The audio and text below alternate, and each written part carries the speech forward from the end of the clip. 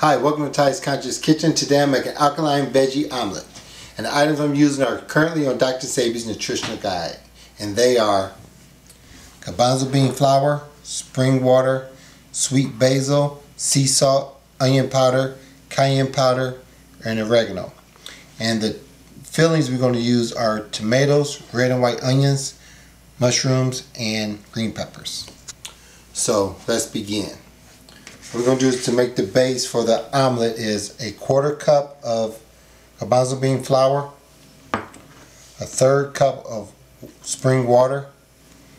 We're going to take a quarter teaspoon of each seasoning. So sweet basil, quarter of the sea salt, onion powder,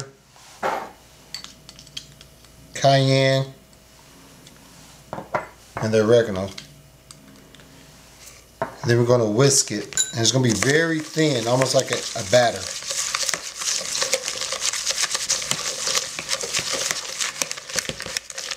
Oh, real soupy. So then what we're going to do is saute the vegetables and then build our omelet. Now we're going to prepare the omelet. I'm going to put on the sauteed vegetables on a medium heat. Just add a little bit of oil, maybe like a teaspoon. Add just a pinch of each vegetable, whichever one you want to add in your omelet. So a pinch of the onions, pinch of the mushrooms, a pinch of tomatoes, and green peppers. There's a pinch of salt. We're going to lightly saute it.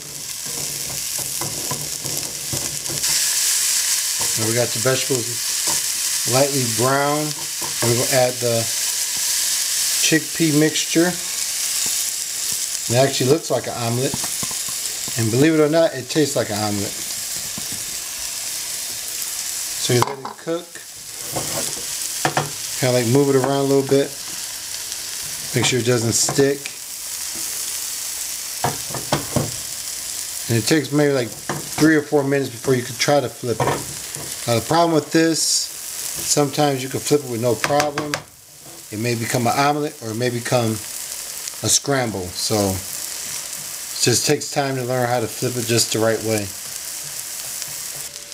So you want to make sure, you may add a little extra grapeseed oil for you to flip it. Make sure it moves around. I'm going to try to flip it. So hopefully it works out.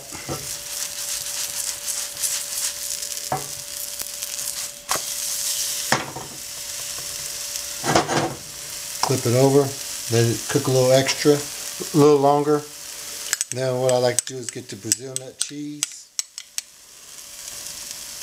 add it to the middle of it. We're going to fold it over, just like an omelet.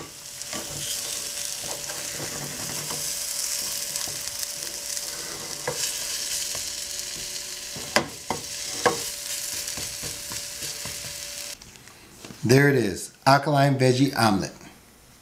Looks delicious and tastes delicious. Don't forget to like, comment, and subscribe. Thanks for watching. Enjoy.